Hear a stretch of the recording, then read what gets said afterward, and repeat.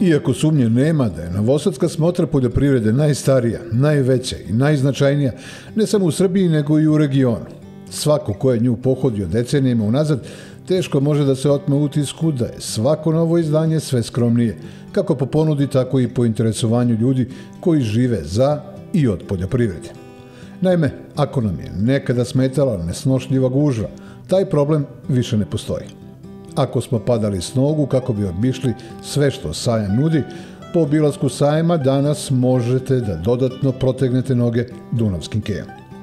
Bez namere da bilo koga kritikujemo, jednostavno očigledno je da je ova manifestacija drugačija nego što je bila. Nekome se to sviđa, nekome ne. Uostalom, ovakav novosadski sajam poljoprivrede mnogo više liči na slične sajamske manifestacije u svetu, manifestacije na kojima se okuplja mali broj predstavnika velikih firmi. To što smo mi naučili da ovo bude mesto koliko poslovnog, toliko i porodičnog okupljanja poljoprivrednika, sada je već romantični problem tradicionalista.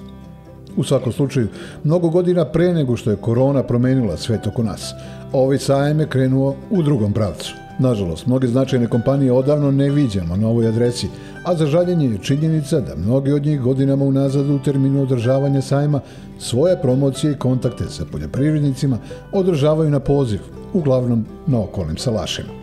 Ali tako je kako je. Ipak i ova smotra je donela neke zanimljivosti. Jedno od njih je silažni kombajn koji je cenom od 450.000 evra bio u centru interesovanja. Naravno ne kupaca, nego ljubitelja selfija. Kao i uvek, najviše zanimanja posetilaca je privukla izložba savremene mehanizacije. Da za ovo nema dileme, uverili smo se i sami, jer smo sagovornika na štandu Agropanonke posle nemalo vremena jedva na par minuta oteli od radoznalih posetilaca. Interesovanje postoji da li posle ove pandemije koja, ajde kažem, još uvek traje, ali ovaj, ljudi su malo opustili i zaista evo treći dan mi smo prezdovoljni prvenstveno posetu, a drugo interesovanje za naše mašine. Mi imamo podeljene recimo dva brenda, Mahindra je do nekih 80 konskih snaga, Belarus od 80 pa naviše i imaju, svaki ima svoje kupce zavisno od gazdinstva, ali recimo najviše što mi prodajemo to je 80-90 konja Belarus, pa onda preskačemo tu gam neki 110, pa opet smo na 130 naviše. Zanimljivo je da recimo ovaj najveći traktor od 160 konja, mi smo i za ova dva dana već četiri komada prodali što nije bilo slučaj neki ranijih godina, ali pomera se ka većim traktorima. S obzirom da su se mnogi svetski proizvođači poljoprivredne mehanizacije tokom COVID krize, ali pogotovo od otvaranja Ukrajinske, suočili sa velikim problemima u obezbeđivanju repromaterijala i komponenti, a pogotovo sa sveopštim poskupljenjima. Brojni trgovci na sajmu poljoprivrede zainteresovanim kupcima nisu mogli da preciziraju niti rokove isporuke, a pogotovo ne cene koje će biti aktuelne kada i mašine budu na raspolaganju. Manje više, trgovalo se samo sa izloženim eksponatima i još više sa obećanjima.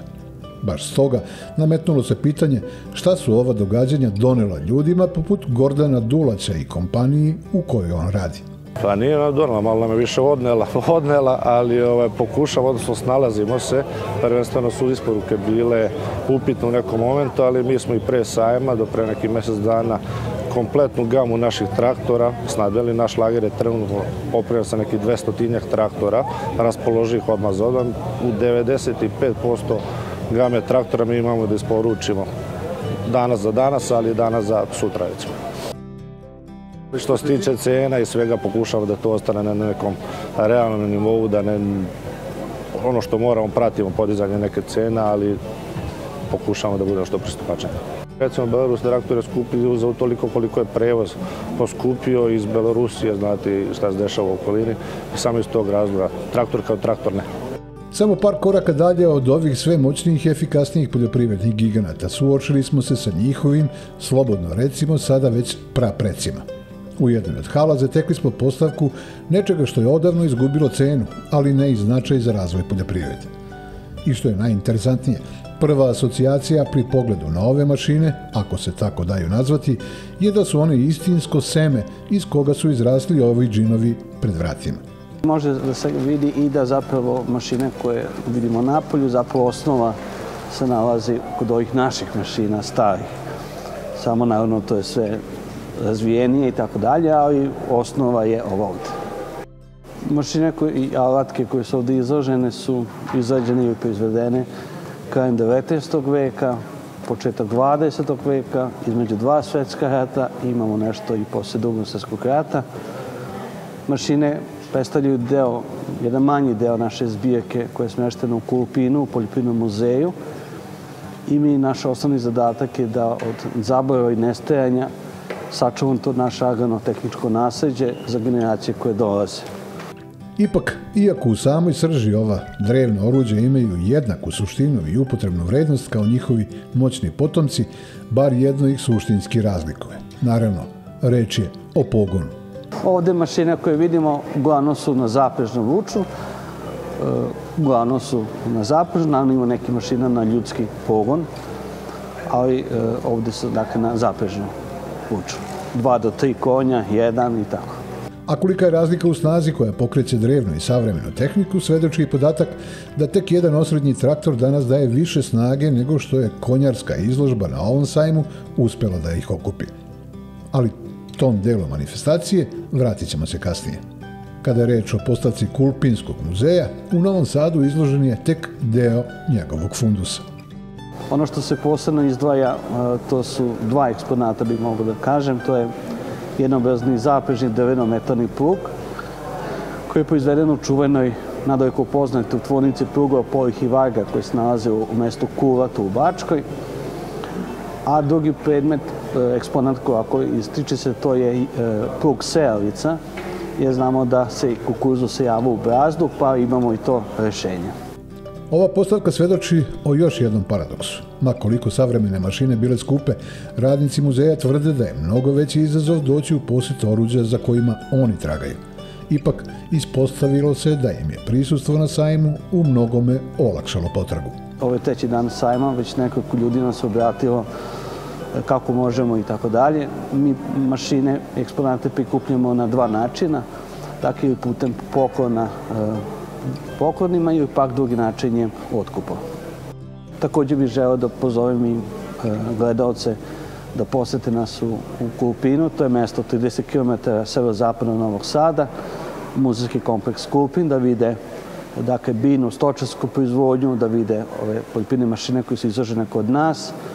Novih par koraka i ponovo smo iz prošlosti zakoračili u stvarnost, a u njoj pitanja bez odgovora više nego inače. Reklo bi se da su poljoprivrednici grupacija kojoj svaka godina donosi nove izazove i da su na to ogugali. Ali ovi koji su trenutno aktualni, i za njih su izgleda previše. Nakon i korone, i svi dešavanja sa COVID-19, evo i sad ova nesreća sa Ukrajinom na voćarstvu i ošto da kažem život na, na selu je značajno utiče. U kom smislu? Prvenstveno što imamo na neki način prethodna sva iskustva i ja sa mojim godinama pamtimo sva neka zla vremena u ovom regionu, ne samo u našoj zemlji, nego u čitavom regionu, jedna vrsta neizvesnosti. Druga stvar je e, sve ovo što mi proizvodimo kao Gruža Agrar, svi materijali, svi repromaterijali, samim tim energenti, samim tim i transport, a i sama cena radne snage je otišla značajno na gore. Tako da, praktično, verujte da iz nedelje u nedelju dobijamo mailove gde nemamo više razgovora i pregovora o samim cenama, nego jednostavno dobijamo cena će biti ta. Onda sam e, plasman, s obzirom da mi radimo e, u voćarstvu, zna se šta je najveći prioritet, jeste sveži, sveži proizvod. To jest bilo koja voćka koju uberemo, a i povrće samim tim, je značajno da izađe na tržište u svežem stanju. Zašto? Zato što nam je to najveći i najznačajniji prihod i za sva gazdinstva i samim tim i veće firme. Tako da jednostavno transporti za, za ono što nam je tržište najveće bilo za sada svežeg voća, a i povrća Rusije su značajno do 3-4 puta otišli gore. Evropsko tržište stidljivo se otvara, E, mi smo spremni sa standardima. Evo, ove godine i u Gruži završavamo objekat e, sa svim standardima, ne samo za rusko, već i evropsko tržište, a i za markete lokalne. Eto da tražimo i otvaramo, ne tražimo, već otvaramo nova, nova tržišta da bismo se osigurali s obzirom da jednostavno neizvesno je šta može da se sve dešava u narednom periodu. Kada je reč o ruskom tržištu na koje je Gruža Agra do sada bila značajno oslonjena, sankcije koje su iz igre izbacile mnoge tamošnje banke dodatno usložnjava problem, jer ono što je do sada funkcionisalo, sada je pod velikim znakom pitanja. Jedan od problema jeste i sigurnost plaćanja samog transfera novca, jer do sada smo davali najveći deo naše robe davali smo na odloženo plaćanje na period 2, 3, 4, 5 nedelja. Recimo, sada je to već i jedna, da kažem, opasnost za nas. A samim tim i kupci zbog transporta, prolaza, puno toga ima koje je nepoznanica, no ja verujem iskreno da, da će se naći, naći rešenje. A ono što domaćim voćarima najčešće kvari sreću, vremenske prilike, ove godine su im u mnogome išle na ruku. Naime, sve nagoveštava da će se ubrati mnogo plodova, pa stoga plasman postaje još veća briga. Ja sam prisutan na celoj teritoriji Srbije, putujem stalno, posvećujem svoje kolegi u regionu. Stvarno ove godine, osim mraza koji je zadesio neke krajeve, ove godine potencijal je jako dobar, kvalitet je izuzetan jednostavno ljudi su u, zabrinuti sa razlogom. Svi smo mi zabrinuti sa razlogom. Nadamo se i verujemo da, da će se ovo smiriti i da se vratimo u, te neke normalne tokove e, života i rada. Ali kako gospodin Nikolić kaže, na probleme smo bar mi na ovom području naučili i znamo da je u takvim trenucima potrebno menjati rutinu. Baš tome, traganju za drugim opcijama, u Gruže Agraru posvetili su mnogo vremena. Mi smo kao porodična firma Gruža Agrar, pored naših 15 hektara voćnjaka i e, kompletne proizvodnje opreme za protivgradne mreže. Mi radimo projektovanje i postavljanje konstrukcija protivgradnih mreža. Evo, ove, ove godine pokrenuli smo proizvodnju povrća da bismo jednostavno imali i proizvod koji možemo da e, u više ciklusa proizvodimo. Samim tim i zbog e, radne snage koju imamo u našim voćacima evo zadnjih par godina da produžimo taj period e, sezone što više i sa, sa novim objektom Centrom za voće, povrće i začinsko aromatično bilje. Tako da e, unosimo, uvodimo nove, nove proizvode kao što je povrće. Za poznate kupce radit ćemo začinsko aromatično bilje sa centrom za sortiranje i pakovanje svega toga pored voća. Tako da eto, uvodimo nove programe, sve ono, da kažem, neki način što je viđeno u svetu, a da bismo se prilagodili i ovim, ovim e, vremenima i, i vremenima koje dolaze u, u perspektivi. E, u svakom slučaju ja sam optimista u tom delu. Moramo da se oslonimo prvenstveno na znanje i e, e cilj i suština jeste proizvodnja kvaliteta e, zapakovanog, a tržište siguran da ćemo naći da, da to dobro.